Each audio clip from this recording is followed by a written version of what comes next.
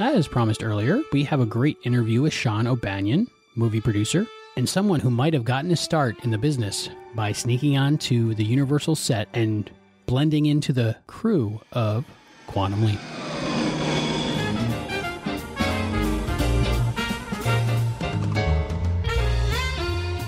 Shaun O'Banion began his career as a production assistant on SeaQuest DSV after sneaking onto the Universal Studios lot at age 17. After several more years as a PA on feature films, he eventually began to seek a position as a personal assistant. The career change proved a wise step, and he soon found himself working for and with some of the industry's most well known and well respected talent, both in front of and behind the camera, including Academy Award winner Christopher Walken, Jack Black, Ben Stiller, and acclaimed directors Joe Wright, Judd Apatow, and Academy Award nominee Peter Hedges. After years of watching and learning, O'Banion moved into producing in 2007 with Dakota Skye. The film became a cult hit and remained in the top 100 on Netflix for the next five years. In 2010, he produced Girlfriend, for which he received an IFP Gotham Award. He joined the Producers Guild in 2011 and produced The Automatic Hate, in 2013. The film will be released in 2015. Currently, he is in development on several films, including one with partner Shannon Mullen and Academy Award winner Bruce Cohen. Mr. O'Banion, thank you for joining us on the Quantum Leap podcast. I understand you have an interesting story about one of your first experiences on a filming set, and it was Quantum Leap. Yeah, thanks for having me, by the way. I snuck into Universal, believe it or not, when I was 11 years old. Uh, it was the first time I did it uh, because I had read an article about how Spielberg had done it. Of course, he did it when he was 19 or something, but I figured, oh, I'm 11 years old, I could do it. And I actually did. I walked right past security, and nobody questioned me at all.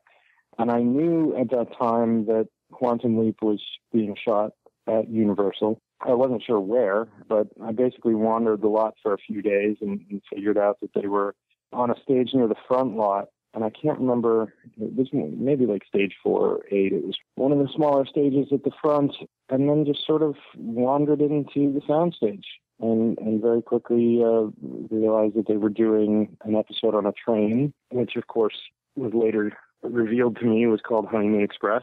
And uh, I got to spend uh, at least three or four days just hanging around watching them shoot Honeymoon Express, which was to me pretty stunning because I'd never you know, I, as a kid, 11 years old, you sort of always just think, well, if they're on a train, then they just go film on a real train somewhere. But this was a train inside the soundstage and uh, green screen out the windows. And, you know, I got to watch the whole process.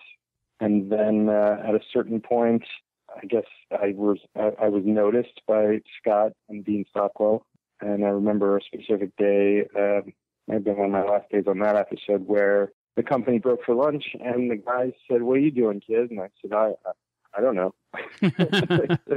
and they, they said, "Well, you want to you want to sit here and have lunch with us?" And I said, "Sure." And uh, Scott walked over and grabbed a couple apple boxes from a cart nearby, and they had sandwiches. And, and uh, Dean, I think, offered me half a sandwich, and we sat there on apple boxes in the center of the soundstage, and just the three of us had lunch.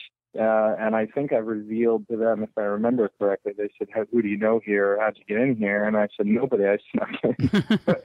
and uh, and I think they both really got a kick out of that. So you know, Dean asked me, I think, what I wanted to do, and I said, "I want to make films." And uh, you know, he of course told me that he'd been making films since he was younger than I was. And Scott was really great. Said that he didn't know initially that he wanted to be an actor. He had started out doing something else. And I think his father was a lawyer and uh, he was maybe going to go into law, uh, but somehow realized that that wasn't it for him uh, and became an actor. And I actually was already a fan of his prior to Quantum Leap because he had done a Disney movie. I don't know if you remember, but he did a Disney like movie the week called I Man.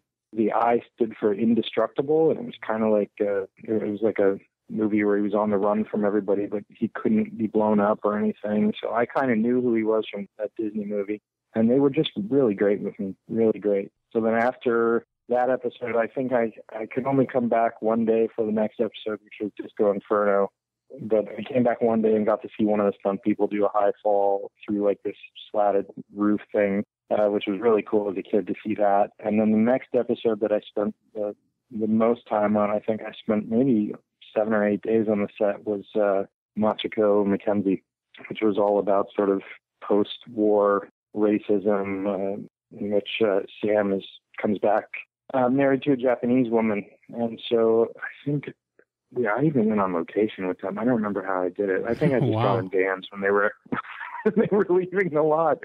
I think it was a little farmhouse, but yeah, I spent uh, I spent a good amount of time on the show, and it was a huge, huge deal for me. It was the very first time that I had been exposed to actual production and seeing how the shots are set up and you know how the rehearsals are done and all that kind of stuff. So, and then of course at the time it was my absolute favorite show. So it was about as big a thrill as you could give an 11 year old kid. Was there a constant fear of getting caught?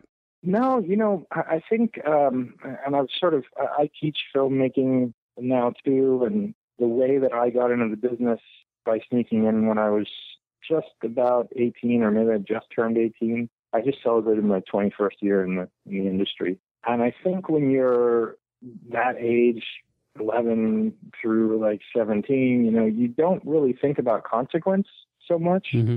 I did eventually get caught when I was 11 or 12, I think, because I was walking around the, the exterior facade, you know, like Back to the Future and, and all that. Oh, wow. Uh, the, the out, the outdoor portion of the lot. And nobody goes back there unless they're in a golf cart or, you know, they're in a car, you know, you don't, you kind of don't, 420 acres, the whole lot. So you don't really just kind of end up back there, you know.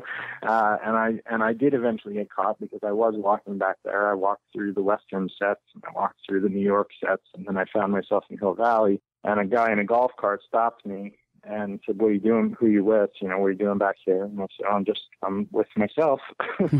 and uh, he was like, "No, no, no, no, no, get get in the golf cart." And, he, and I got in the cart, and then he took me up to the security office, and they told me that I was trespassing and that I was, you know, breaking the law, and my parents could be held liable. And they took a Polaroid of me and stuck it up on the wall. And oh, I mean, man. I think.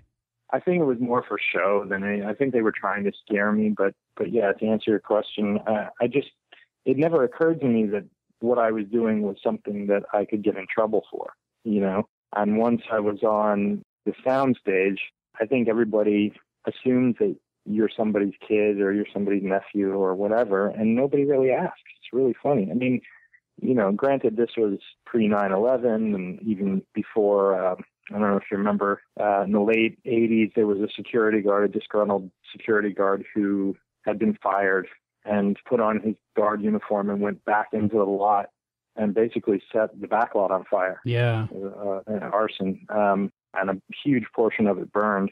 And so obviously after that, security got a lot tighter, but I was still able to get my way in there and by somewhat unscrupulous means. I mean, you certainly couldn't do it today, but it, but it was easier then. And I just think as a kid, I just thought, you know, what, what's the worst that can happen? Or, or maybe even more so, just, I didn't care, you know, it was like, I gotta get in there. I gotta see them do this stuff. And so I did. And then sort of, you know, at least the reason I got to hang out on Quantum Leap for the next couple of episodes was because Scott and Dean knew me at that point and used to come over in between scenes and just talk to me and say, oh, "What you doing today?" You know, I mean, they they knew the secret, Wow. which is that I didn't belong, and they thought it was cool. So uh, these guys are really as cool as everybody says they are. Oh, absolutely, absolutely. I'm jealous. I have friends that are working on uh, NCIS New Orleans right now, literally in New Orleans, and they're working with Scott, and I'm like, wow, he's such a cool guy. Mm.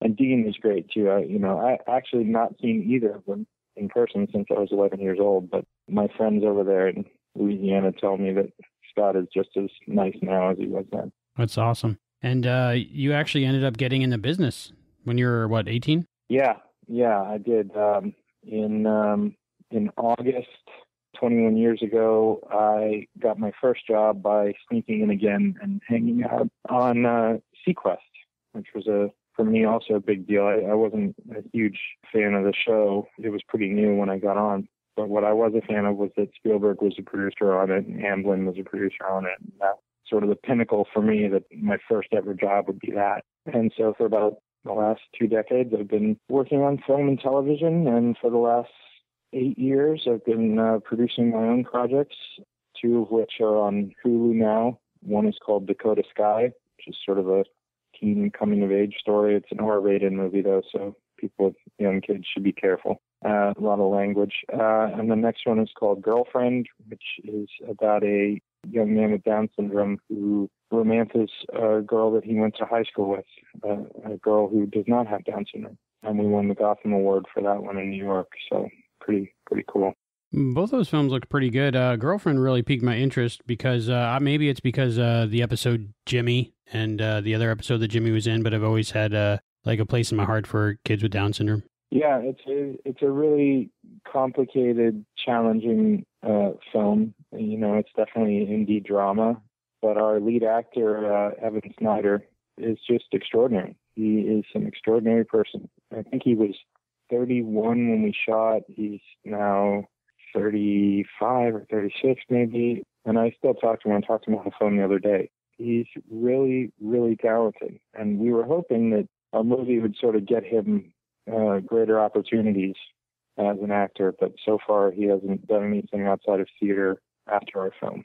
But uh, if anyone's looking for a really stellar actor who has Down syndrome, you could do far worse. and uh, Dakota Skye is about a girl with a superpower of sorts. Yeah, uh, Dakota Skye is about a girl who's about to enter her final year of high school, and she has a power that whenever someone lies, she hears the truth. And we sort of let the audience in on that because whenever someone lies in the movie, we put up a subtitle that actually says what they really mean or what the truth is. Um, so it's it's pretty funny and it's also dramatic. She's facing all the things that young girls face at that age and in high school, and the only difference is that there are no secrets for her, you know, um, which makes her fairly angry and apathetic. Uh, but then she meets a boy who may have the ability to never lie, and it sort of changes her life.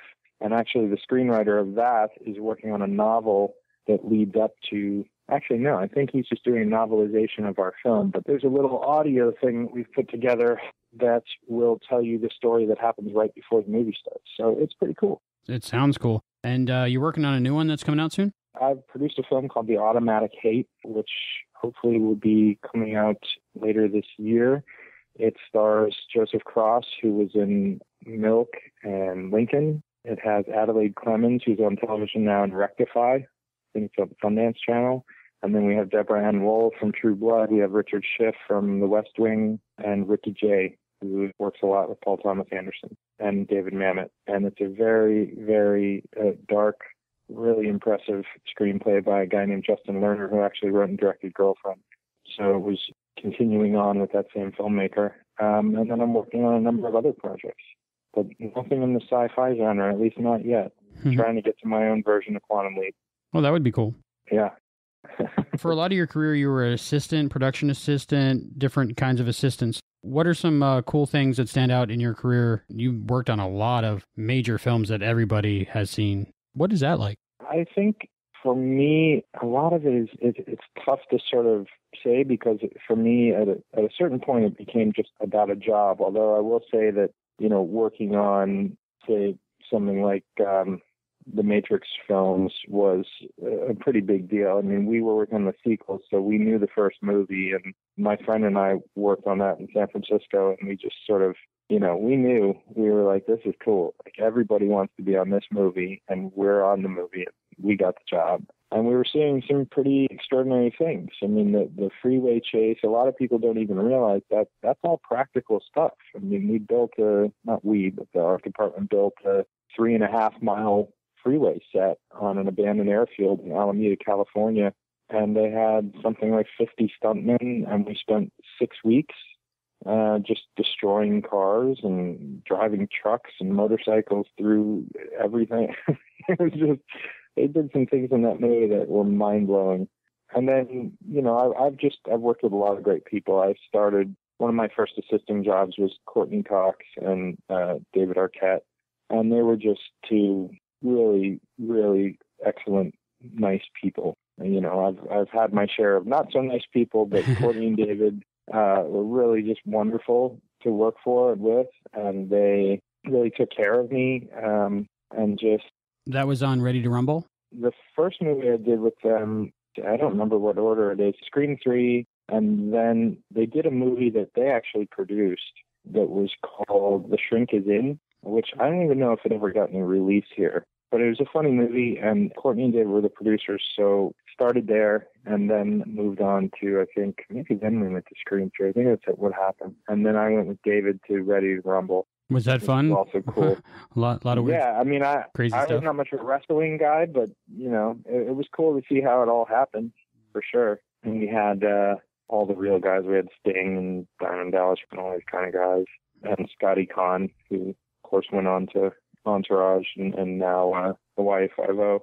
So yeah, some just some cool people. I worked for Ben Stiller for about a year. Had a really good experience doing that. Uh, Starsky and Hutch, and along came Polly, and Duplex. yeah, I did reshoots on Duplex, the end of Duplex. Is that kind of how that happens? You kind of get with one actor and stick with them for a while, or is it just worked out that way? I think if you have a good rapport with somebody, particularly in that position, they're looking for people that they can trust and people that sort of understand the way they work and a level of you know discretion because you're hearing things that shouldn't go out publicly and whatnot. Um, so I think you know, yeah, if somebody if somebody really trusts you and feels comfortable with you, you know, generally you can stay in that position for a long time if you want to.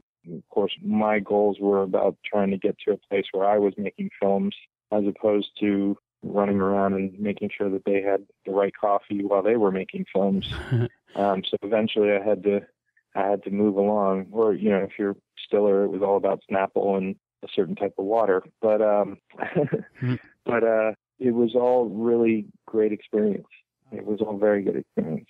Was it like a evolving process where you still working as assistant while you're trying to become a producer? Did one day you just say, "This is it. I'm going to start doing my own thing"?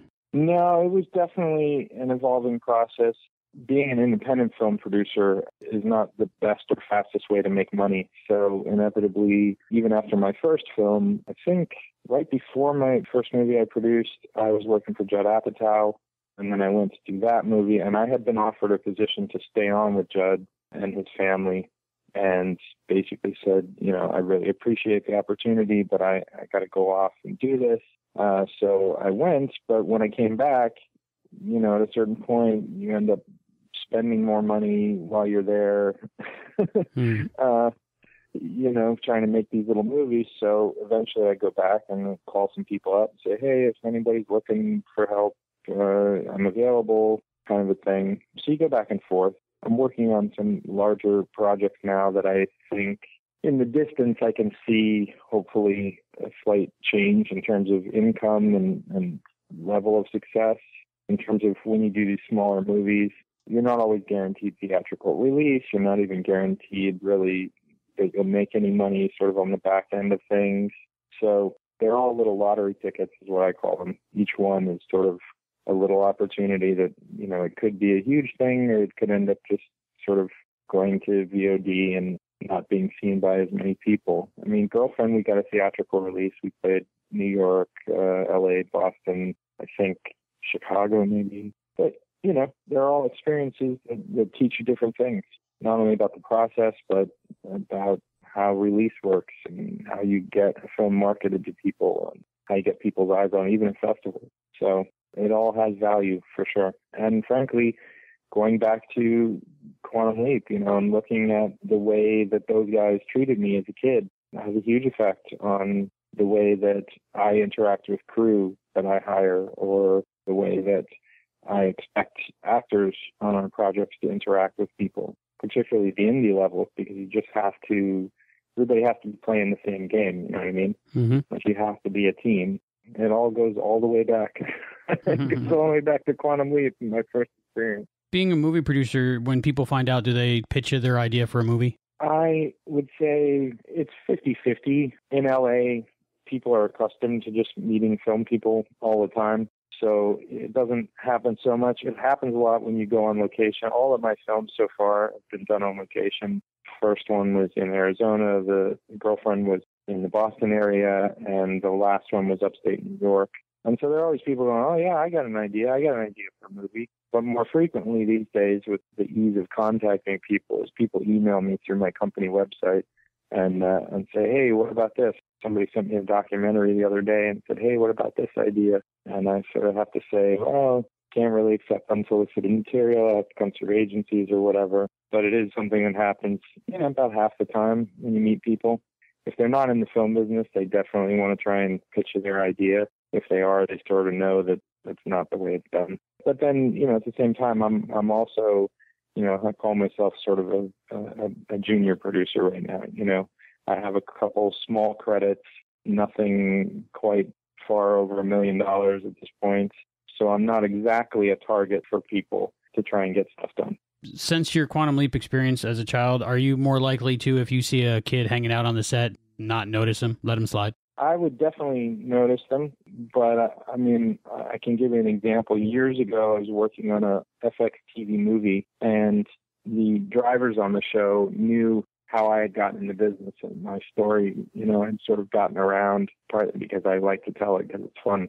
Um, but uh, there were these two guys. I think they were like, you know, New York Film Academy, LA, or something, and they were they saw the trucks and they pulled over, and they started talking to the drivers. And the drivers called me on the walkie-talkie and said, "Hey, Shaun, why don't you come over?" So I walked over, and they were like, "Hey, these two guys want to know how you get in and how it all works." And and so I sort of basically took them. I was like, "Yeah, follow me, guys. Are you hungry? Do you want to come to craft service?" And took them in the set and let them look around. And and it happened in a similar way with a guy who approached me on the streets.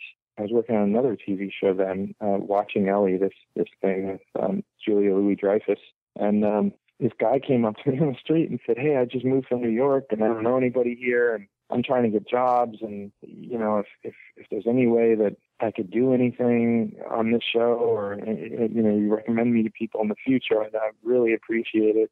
And I sort of turned to him, I was standing with a friend of mine, and I turned to him, I said, You got your resume? He said, Yeah, yeah, it's in the car. I have it in the car. I said, Okay, go get it. And he ran to his car and he got his resume and he came back and you know, I looked it over. He had actually, it wasn't going to be his first job. He had worked for Robert De Niro in New York, but I looked at the resume. I said, all right, all right, don't worry about it. And he said, what do you mean? I said, don't worry about it. We'll, we'll take care of you. And he said, wait, what does that mean? Like, don't promise me anything if you're not going to do it, because then I'll just be waiting for the phone ring. I said, no, no, I'm I'm not like that. I'm serious. Uh, we'll, we'll take care of you. And we started getting him jobs. And uh, my friend and I got him a job on the 24. You know, like I think it was like second or third season or something by then, and got him regularly working to the point that he didn't need our help anymore. He was working on his own. And then he had something happen in his life that sort of made him realize that production wasn't what he wanted to do, but he wanted to work in post production. And he had taught himself how to edit and got himself a job at a post company in Hollywood and was cutting promos and DVD special features and things like that. And then when my first movie came up and, and became a reality, the director slash co-producer had put the money in and we were going to make it. I said, we need an editor. Um, and of course, in the industry, you you sort of collect people that are your friends, and they all have these different skills. And film people just tend to know a lot of other film people. So I said, we need an editor, and he said, yeah, but we don't know any editors. I said, yeah, I think I do. And so I called this guy up. His name's Jeff, and I put him together with the director, and he ended up cutting Dakota Scott. And then I did the same thing on Girlfriend, put him with that director, and he ended up cutting Girlfriend. And uh, the last film as well, same same writer director. So I said, you know, going to use Jeff again? Yes, we are. Okay, good. So that guy who just came up to me on the street uh, is pretty much, you know, he's he's my editor. That's awesome. Yeah. So uh, to find out more about your films, people can go to ravenwoodfilms.com, right? Yeah, ravenwoodfilms.com. It's also at Ravenwood Films on Twitter or at Shaun underscore O'Banion without the apostrophe. Yeah. When you were on SeaQuest, did your last name similarity to somebody who created the show? Did that help you get that job, or was that just a coincidence? No, it's just a coincidence. I I literally was on that set for three months, and for the whole entire three months, I asked people every day if there was anything I could do, and I didn't know about unions, and I didn't know about sort of the rules of being hired. So for three months, I would ask, "Hey, can I do that for you?" And people say, "No, no, thanks, kid, we're good." but there was a night where they were going to do an exterior at the amphitheater, which actually doesn't even exist anymore. That's how old I am. They knocked it down for Harry Potter World, and they were putting the extras in a van. So I just got in the van uh, with the extras, and they drove us all up the hill. And when we got to the top, where they're setting up this exterior that was supposed to be a, an Earth Oceans World Conference, you know, they had about a hundred extras, only sci-fi looking vehicles. I got out of the van and there was a guy yelling at another guy and he was saying, I can't you know, I don't have enough people here to put your trailers where you need them and get your makeup tables and stuff set up. So pick what you want done, and I'll do that first. And I just walked over and raised my hand and said, I'll do the makeup tables. Where they go? And they both sort of looked at me and, and finally the, the guy who I realized was an assistant director said, okay, fine. Go with him, pull the makeup tables off that truck over there, put them in this room down here, put all the light bulbs in, plug them in, get them ready, set up the director's chairs for the cast to sit in and extras to sit in, uh, and come back and find me. So I did that, came back to find him about 20 minutes later. I said, okay, that's done. And he said, uh, okay, here's a walkie-talkie and a headset. He said, you ever use it before? I said, no, sir. He said, all right, don't talk on it, just listen. If I tell you lock it up, that means nobody walks through. When we cut, you can release people. Just stay here and do that. I'll come find you later. I said, okay. Put the headset on. I called my dad. I said, Dad, I think I just got a job. and uh, I worked that I worked that whole night. Uh, it was a night shoot, so I worked all the way until basically sunrise. And he said, uh, the AD said to me at the end, he gave me an extra voucher. That's why he paid me the first night, which I still have, which is cool. My little receipt. And uh, and he said, I don't know how you get in the lot every day or who you know, but uh, if you're here tomorrow at uh, at 9 a.m., I'll hire you. And I said, great. So I, you know, got everything together and showed up, and I worked the rest of the the first season that way. That's awesome. Yeah. Hopefully, your story inspires a whole bunch of future filmmakers to sneak into places. Yeah, I mean, I wouldn't recommend, you know, to clear myself legally. Right. I wouldn't recommend it these days. But like I said, it's a different world that we live in, uh, and security is taken much more seriously. But you know, I mean, even back then, like I said, when I was a kid, 11 years old, they took my picture and you know said I was trespassing, so it was a big deal. Uh, when I was 17, there used to be a sit down commissary in the Universal lot. They don't have it now. It's more like a buffet kind of line that you just go through. Uh, but there used to be a, a place where you can actually make a reservation and have a lunch. So I decided that maybe if I called from off the lot and made myself a reservation, that my name would come up in the system. So for a while, that's how I started getting in. Was I'd go to the guard gate and say I have a lunch meeting, and they'd look in the computer and there'd be my name, you know, 12 o'clock commissary. So they'd give me a pass. It's supposed to be just for me to go there and then leave. But of course, I wouldn't leave. I'd go have my quick lunch. I'd always have the lunch there, uh, and then go walk around. so um, I think there are ways to do it. And my feeling is if, if nobody's getting hurt, there's nothing wrong with it. Obviously, you know, I don't recommend that anyone break any laws. But yeah, if I hadn't done it, I, I don't know that I'd be in the industry. Today. I don't know what I'd be doing. The only thing I ever wanted to do was be in the industry. I think more than sneaking in, it's a good example of the difference between wanting to do something and taking that first step to do something. Yeah, for sure.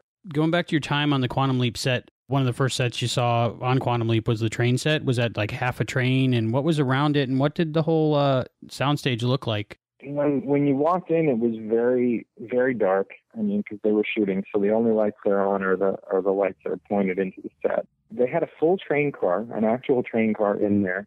Don't remember if it had the wheels on. I doubt it. I think they just had the shell of it in there. And then there was a another piece that was like a half of a train car uh, that was in front of that one. So you know, if they were shooting, you could walk from car to car. And obviously, everybody was sort of clustered in there watching them shoot. I did walk in to the train when they were when they were you obviously you couldn't stand in there because it, it was an accurate train. It was a very thin hallway uh, and little rooms off the side. But I walked in because I wanted to see what was going on in there and where the camera was. And I met her name was Alice Adair. She was the guest star for the episode. She was very sweet. And I remember the guy who played the villain actually scared me. he was in the episode. He's supposed to be her ex-husband, and he's chasing them down, and he keeps threatening to kill them. And and I just remember him being, you know, I remember them filming the scene where he says, "You're not afraid of me," or something like that, and and Sam Beckett says no, and he says, "You should be because I'm going to kill you," or something like Mhm, that. And I mhm. just thought, oh God. And then and then uh, on another day they were doing the scene where Al is sitting in front of the board basically that are determining if they're going to finance the project anymore. And I didn't realize, you know, I, I 11 years old, I wasn't thinking about that they still had probably 15 more episodes to shoot that season. So all I heard was a snippet of dialogue where they were saying, you know, Admiral Calavicci, we believe we're not going to continue the program, and I and as a little kid, I was like, "Oh my God, are they canceling the show? what are they going to do? What are they going to do? Maybe Gene's leaving the show. What's happening here?" Hmm. So, and then you realize, you know, when you're standing on the set, they give out sides, which are like shrunken versions of the day's shooting script, literally shrunken down, so you can you can fit it in your back pocket. And so you can get that, but that's all you get. So if you don't get a full script, and I, I eventually swiped a pair of sides, you can see what they're going to say, but you can't see really what the scene that comes after or the scene that comes before. So I remember thinking, oh man, maybe they're in trouble. the show's going to get canceled. But no, it was, I mean, it was amazing to stand on that stage and see a train car. And obviously there's nothing out the window, but, and you're also, you're watching everything that the costumes were of the time period. I can't remember when that episode was set. I want to say like the 50s or something, late 50s. And then even the next episode to go into Disco Inferno and everybody's wearing butterfly collars and platform shoes and you just see the extras are all dressed up. I mean, it, no matter what, even now, I'm, I make films and I still, I, I find the project just full of magic. And that's even when I know what's coming and I'm part of the process that makes sure that the things that are required there. It's still a magical thing to me that there's 150 people all sort of working towards this one goal, which is 124th of a second.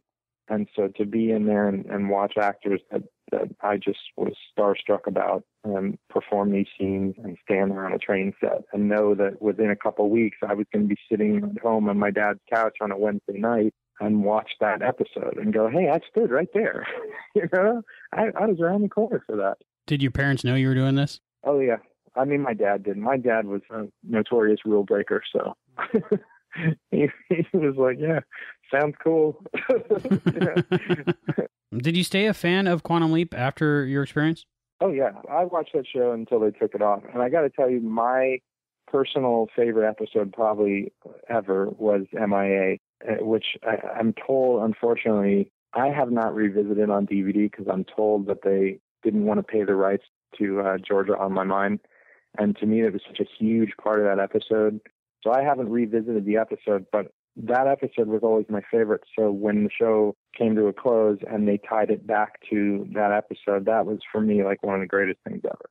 Yeah. That that episode just really resonated with me as a fan of the show. I would wholeheartedly agree with you on that. Yeah, I wouldn't recommend MIA on Region 1 DVD, but if you can get a different region, or I believe Netflix actually has a proper song now. Oh, do they? Do the Region 2 discs have the music the way it should be? Yes, Region 2. I have the Region 2 discs. I don't think I'm supposed to. Are we allowed to? I don't know, but I have.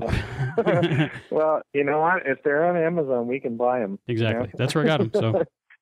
Uh, yeah, I'll have to look that up because that, that was a yeah great episode. Definitely, I've worked with Bruce McGill before a couple times, I think, uh, and who played the bartender mm-hmm. in, in those final episodes. And he's also a really fantastic guy and, and told me a lot of nice stories about his experience and even with Don Bellisario and people on the show. So but yeah, I mean, that experience, like I said, was a very formative thing for me to sort of see as a kid, to understand how it happens and understand that you really only shoot two or three pages a day on a television show and you're just, you know, you're there for 12, 13, 14 hours a day and how the actors are able to keep an energy level up and match a scene. You know, you may shoot on Monday the scene where he comes into the train and walks into one of the rooms, but you don't shoot the room until Thursday for whatever reason. So he has to remember so that it's continuous. The performance is continuous. And just to learn stuff like that as a kid was pretty great and see how that happens.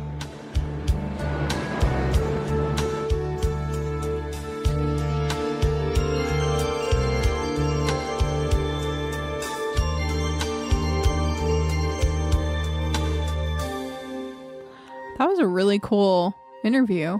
I I wish I did cool stuff like that when I was a kid. But I, I, I think my favorite part was that he got to like sit down and have lunch with Scott and Dean. And that was really neat.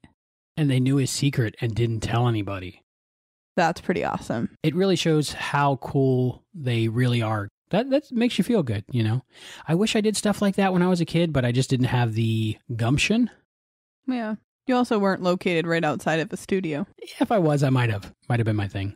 I think that's really awesome. Every little piece of the puzzle we get brings us that much closer to knowing what it was like to be there during the production of Quantum Leap. Definitely a cool guy.